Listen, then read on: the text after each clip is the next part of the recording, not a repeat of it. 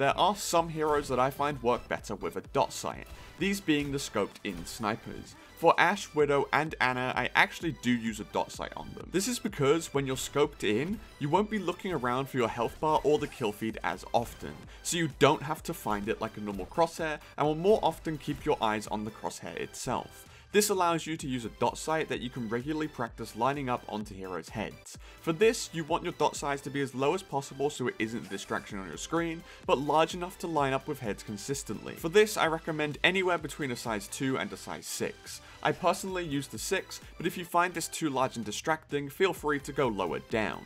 And finally, I recommend keeping dot opacity at 100, as again, this helps the crosshair to stand out more and not blend in with the background.